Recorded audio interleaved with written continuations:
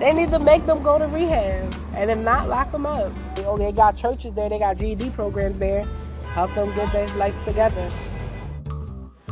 I'm trying to reach for the stars and trying to slowly progress. But one day, like I want to express that I, I made it. It takes all your energy and all your effort to just do it and to just put everything together to get the first organ built.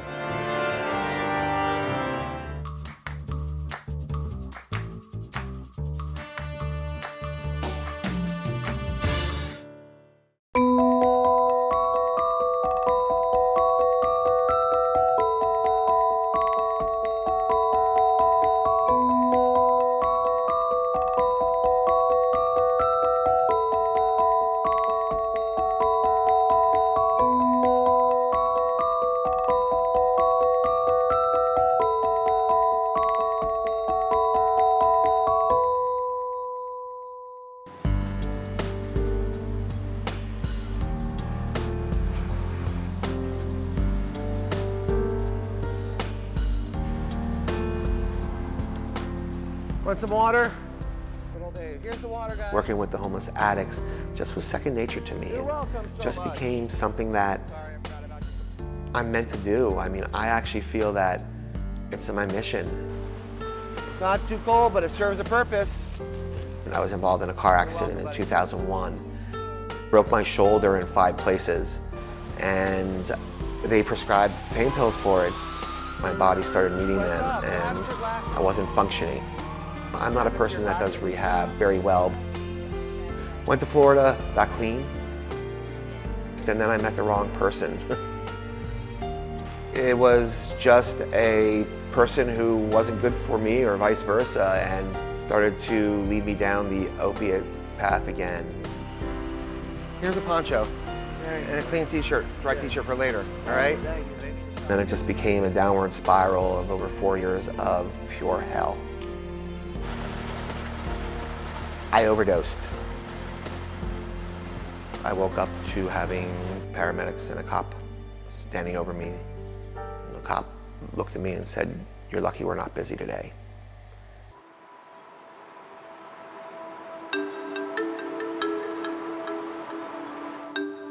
I started in the corporate world way back in the early 90s.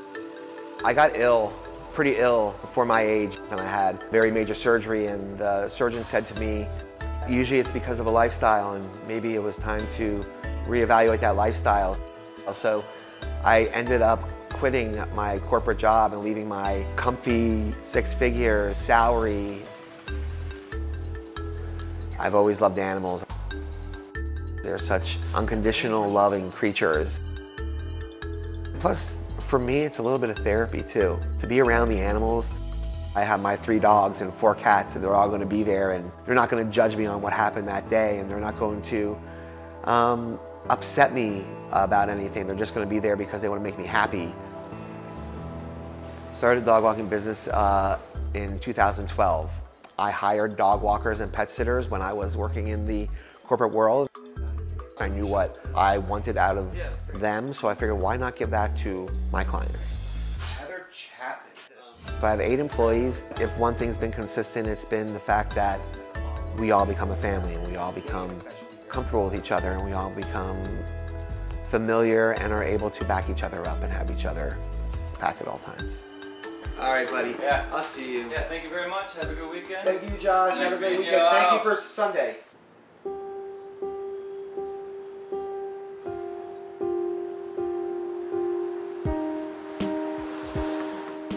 Size are those? You need 10 and a half? 10, 10, 10, 10. I started working with people on the streets when I was 15 years of age. I've been doing it on what I consider to be a very full-time basis for the past four years. You got the Philadelphia 76ers on that? After many years of being on and off the streets, Eric finally made the decision to get himself into rehab and get some treatment and to get clean. For somebody to actually get to the point where they have realized that it is time to get off the streets, get off the heroin, get off the opiates, is when they have made peace with themselves and they become ready to become who they used to be Day after day it was raining, I was wet. sick. My legs were like getting bad, infected again. Are you done? Uh, I'm done. You're done. I, I, I'm done. I, I'm worn out. I, I, I'm tired. I, and, and I can't do this no more. I'm a human being and I deserve a chance at a good life. Right now, I've been in the program going on 30 days. Okay. And how do you feel at this point then? Mentally, uh, I'm, uh, uh, um, I'm getting there. You know what I mean? Like, I, there's a lot of depression, you know, coming out of the fog. You know what I mean? I'm taking everything very slow. I'm accepting everything very slow. I'm not putting high expectations on myself, and for now, I'm good with that. Somebody like Eric or anybody that has uh, been in long-term addiction, they need to recognize what made them want to use on a daily basis. For Eric, he's going to have a lot of triggers. He's going to have a lot of memories that will bring him to places that were very uncomfortable.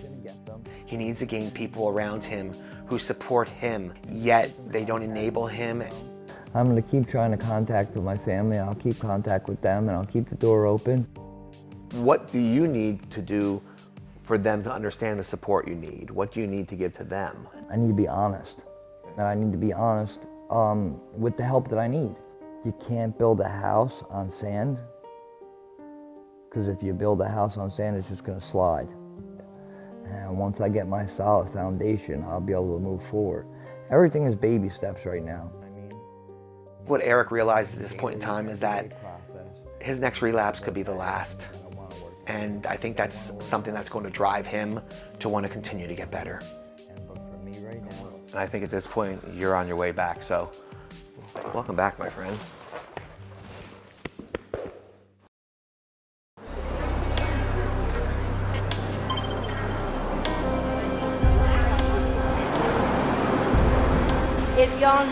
Needed underwear, you could have just asked me instead of stealing it. And you could have I can't live out here no more. I'm 34 years old, and it's just, it's too much anymore. the chaos and the bull and and the lifestyle. How could anybody possibly want to live in that? There's something addictive about it. Yo, that we're supposed to be taking care of each other, and we're supposed to be behind each other, not behind each other with the knife out, waiting to stab them in the back. I got caught in a sting, um, which I must say, going two years out here without getting it in handcuffs is quite the feat. Bye, thank you. I copped, and as I was walking back, he just popped out from behind the wall and grabbed my hands, put me in cuffs. People suck, the drugs suck, it's just miserable, I'm tired. It's tense. Like people just bully people. I'm a small little white girl, so it'd be easy to, to push me around, you know. I tried the two times to go away, like it's frustrating. I will find any bullshit, dumbass excuse, probably every addict does. Today, I mean, I would like to get over to Prevention Point and find out about the uh, methadone outpatient clinic. When I was on methadone before, it worked quite well for me. I was in school, I had a job, I had my own place. I was every bit of functional.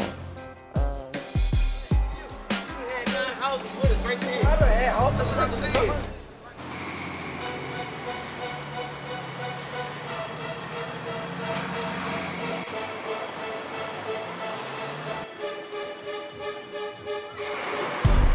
lived on this block for 21 years. My mom's a homeowner. I'm not gonna leave her stuck here.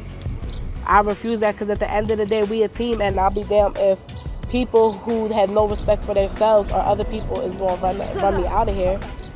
Kensington is a place that people were born and raised and don't have the opportunity to leave because that's all they know or that's their home and they can't afford anywhere else. Most of the people who are there in addiction aren't from Kensington. A crack pipe. This is everything. We just picked some up that was out here. The They have some very long-term residents in that community that have a really sour taste in their mouths about what's going on. A majority of them are done. They want this to be over. They want their neighborhood back. They come from under the bridge, they get high, they go into abandoned houses. They still walk around here high, dipping with my kids outside, kids across the street playing.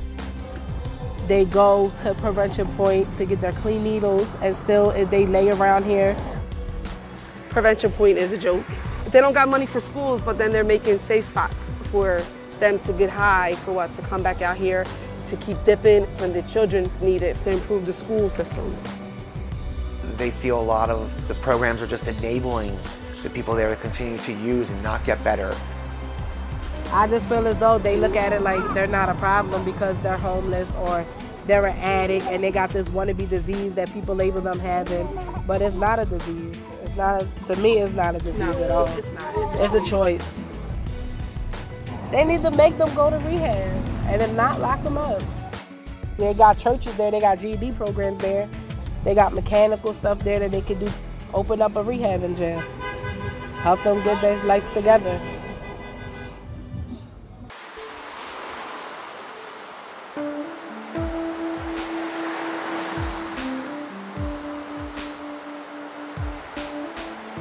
Anything good going on?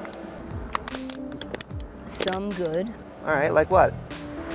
Just pursuing treatment, just the fact that I am pursuing treatment. The last time that I talked to Kelly, she was not ready to get treatment. Talking to her today, she's at that point. She's hit rock bottom and she's ready. We, we talked about detox before, and you talk about it again. You're afraid of that, huh? Yes. What's the fear in detox? It is a horrible experience. I hate being dope sick. If there was a way to avoid dope sick, many of them would not be out here. Going clean isn't an easy task, and doing it without having any type of opiate going through your system uh, will make you sick. It'll give you the chills, it'll give you the sweats, the fevers, nauseous, you can't sleep. It feels like somebody is ripping the insides of you out. However, once they get past that part, the rest is easy. This life isn't what you want. You're sick of it. Right.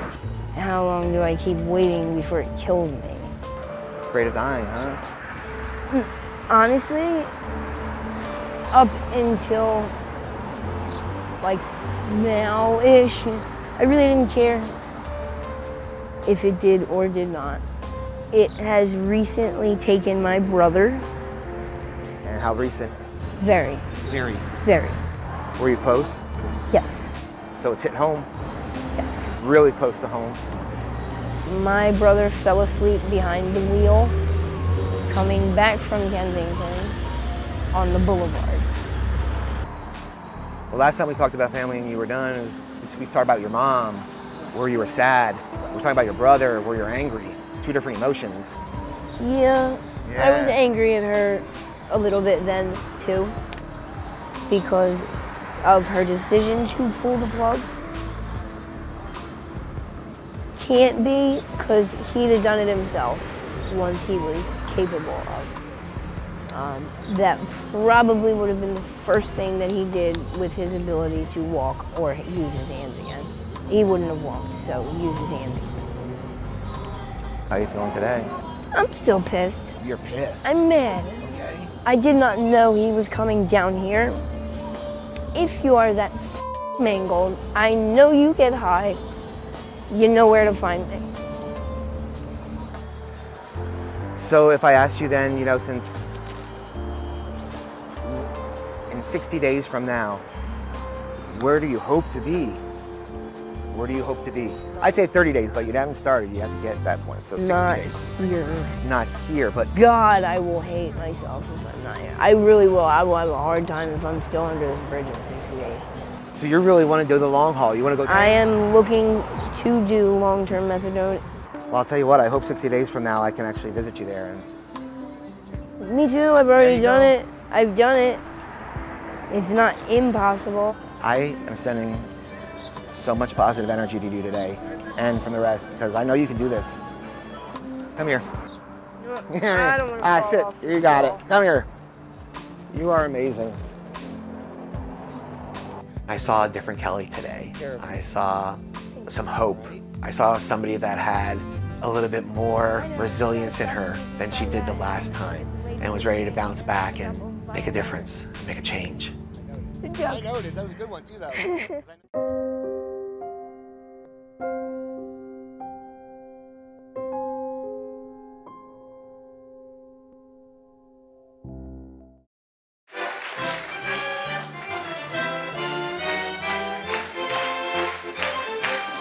I'm with the United States Air Force Strolling Strings. It's too enjoyable to stop.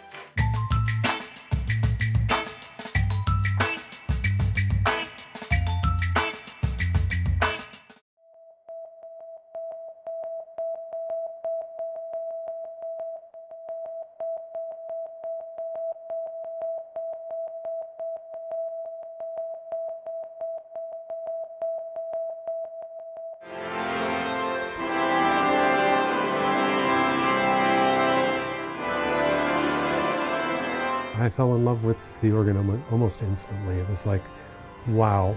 And it's an interest, instrument with so much history.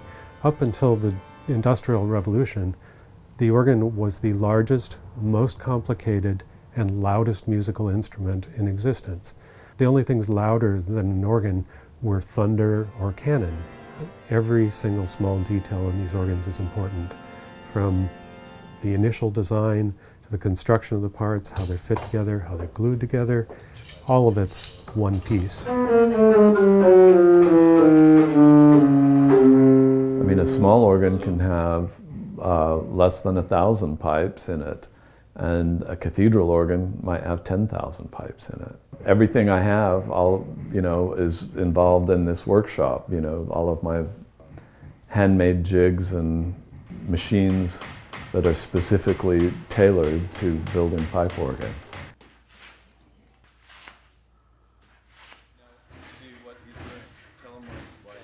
You saw the metal pipes being made.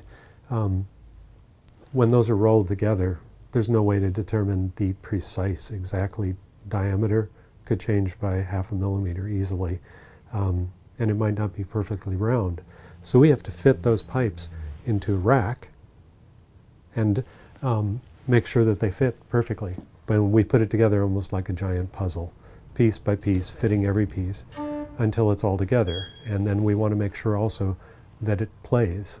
Um, we don't make every pipe work in the shop, but we want to make sure that the mechanical system works, that there are no leaks in the wind system, because pinholes can cause leaks. Organ builders in history have never made a lot of money. They're long hours.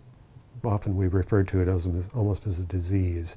You know, you get into this profession because this is what you want to do with your life. And if you have the disease, kind of, you have no choice. You know, and that's how Bruce and I have felt since we fell in love with building organs. It's uh, what else could I do that would have this much inter- this many interesting things going on all the time.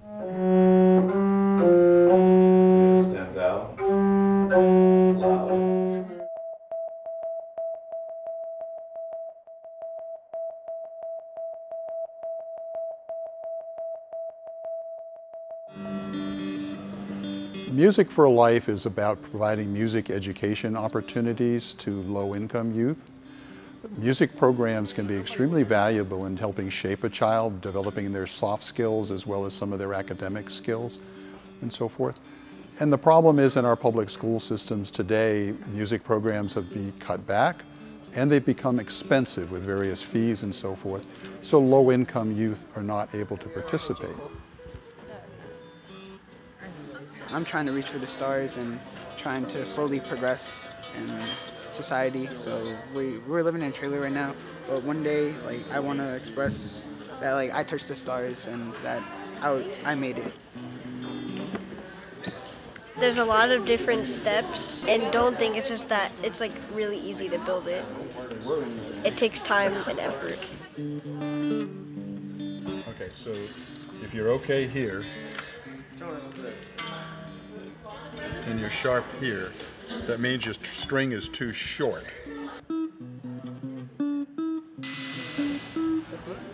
If you get one thing wrong, even just by a millimeter, then the length of the string won't be right and you won't get the correct note on your strings. We started this program uh, when a Boy Scout, one of my Boy Scout Eagle Scouts was tragically shot and killed back in two, February of 2006. And he was an avid guitar player and his parents wanted to do something that we would give back to the community. We use music because it, music has more value than any other single activity. Music has been shown to help with cognitive skills. It helps relieve stress and tension that kids may feel if they're in low income and are in a world of denial where they can't have this and they can't have that. The most comment we get about that is the fact I built something for myself. I built my own musical instrument.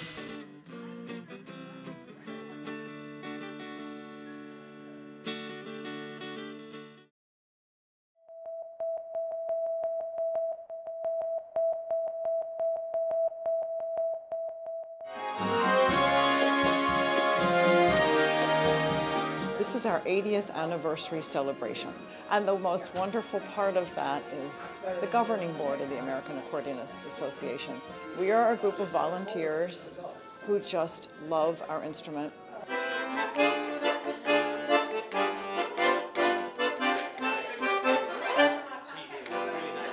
The accordion has given us so much joy in our lives that it's our pleasure to give back. And we love to see the young people learning, and um, we get to see them year after year growing up and expanding their musical abilities. And to see our friends again. It's a wonderful reunion. Being from um, an ethnic uh, background, I've, I've grown up in a, a Ukrainian community uh, all my life with children's groups and resorts in the Catskills and stuff like that. And actually, from the age of 15 to 23, I had a house band or, or played in the house band at the resort. So I loved the folk music. It was all around me. I was in a folk dance ensemble until I played the accordion well enough that they threw me out of the ensemble and said, You're going to play for us, not dance in it.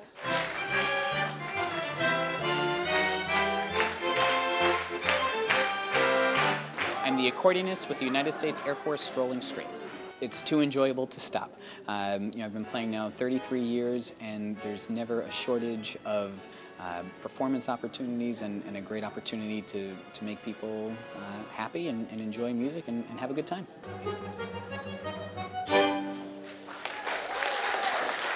You know, there's some some times when we might show up to a dinner at the chief of staff's house, and uh, you know the there might be some tension between our leaders and, and, the leaders of the visiting nation, and then we'll go into the residence and perform a selection or two from that guest nation's, from the hometown perhaps of, of the leader, and all of a sudden it seems like the tension goes away a little bit, and we've been told that sometimes after we perform, that's when some real discussion and, and progress is made, so we, we help to break that ice in a uh, very friendly way.